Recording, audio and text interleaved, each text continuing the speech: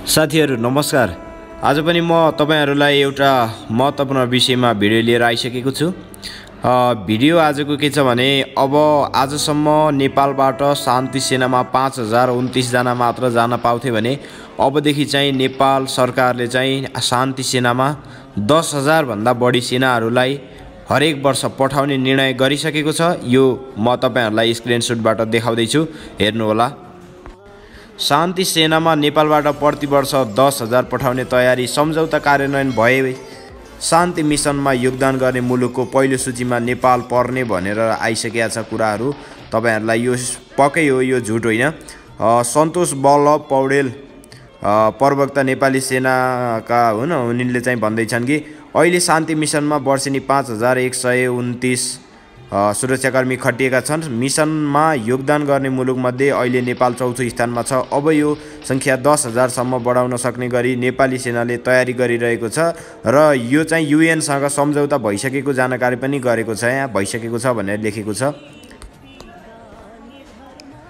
नेपाली सेनाले संयुक्त राष्ट्रसङ्घ अन्तर्गत शान्ति स्थापनार्थ मिसनमा एक वर्षमा दस हजार सैनिक पठाउने गरी आन्तरिक तयारी गरिसकेको छ। यसका लागि सेनाले राष्ट्रसङ्घसँग सम्झौता गरिसकेको छ भन्ने खालको कुरा म तपाईँलाई देखाइसकेँ। सैनिक प्रवक्ता सहायक रथी सन्तोष बल्लभ पौडेलले शान्ति मिसनमा एकैपटक दस हजार सुरक्षाकर्मी खटाउन सक्ने गरी नेपाली सेनाले तयार गरिरहेको जानकारी दिएका छन्। अहिले शान्ति सेनामा वर्षेनी पाँच हजार एक सय उन्तिस सुरक्षाकर्मी खटिएका छन् भन्ने खालको भयो। यो चाहिँ जानका लागि चार चरण पुरा गर्नुपर्ने हुन्छ। त्यो चरणको लागि चाहिँ म अर्को भिडियो लिएर उपस्थित हुनेछु। चार चरण गरेर चाहिँ सेनाका जुन चाहिँ सिपाहीहरू शान्ति मिसनका लागि जान योग्य हुनेछन्। र चाहिँ पहिला चाहिँ के थियो भने कोटा सिस्टम थियो र त्यो कोटा सिस्टम पनि अहिले हटेको छ। जो चाहिँ चार चरण पास गरेर बस्नुहुन्छ उहाँहरू चाहिँ शान्ति मिसनमा जान पाउनुहुनेछ। अझै पनि नेपाली सेनाका तथा सशस्त्र प्रहरीका चाहिँ तेह्र हजार नौ सय सत्ताइस सेनाहरू चाहिँ शान्ति मिसन जान पाउनु भएको छैन।